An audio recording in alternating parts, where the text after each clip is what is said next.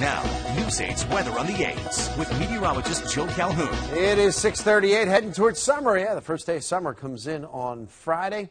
Typical summer-like weather for most of this week. Not terribly hot, but it is going to feel a little more uncomfortable. Looking live right now over York, sun is up and yeah, starting out with some sunshine. Nice looking start to the day.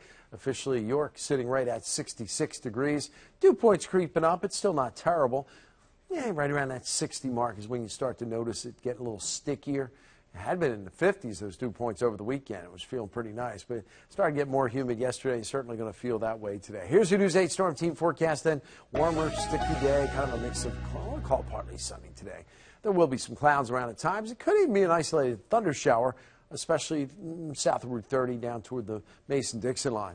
60s to near 70, a little sticky overnight tonight. Not much reason for any showers around. Wouldn't surprise me if we saw a shower overnight, but I think most of the night is clear. Tomorrow, though, I think there's a better chance of scattered showers and thunderstorms around as a, a front will be approaching from the north, another storm from the west. Weak, but nothing violent, I don't think. But again, there will be some storms around, probably lower 80s for tomorrow. 64 in Landisburg right now. Chambersburg's been stuck at 70 the last couple of hours, 67 in Harrisburg. Shamokin, you're coming in at 64, but it's only 61 in Lebanon.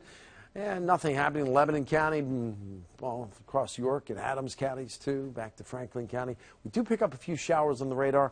You notice out toward the west of us. But you see this line has been drying up as it heads eastbound. I wouldn't surprise me we saw a sprinkle or two, but I think for the most part it's dry today. Here are most of the showers we saw yesterday. They're off to the south of us kind of in advance of this stalled frontal boundary. It came through with a few of those showers and thunder showers yesterday. It's kind of stalled near the Mason-Dixon line. So that's where I would favor showers today. Now there's another front off to the north, and behind it, we should get a little more comfortable later in the week. But at the same time, there's an area of low pressure moving eastbound. Two of these are going to kind of combine to bring us a better chance at showers and storms tomorrow. I'm not saying it rains all day tomorrow, but there will be showers around for a good part of the day, maybe even a thunderstorm. You know, the kind they hit you for a little while and then they move off. Then behind that front, here comes high pressure building in. Should bring us some nicer weather on Wednesday, a little less humidity. Thursday looking pretty good.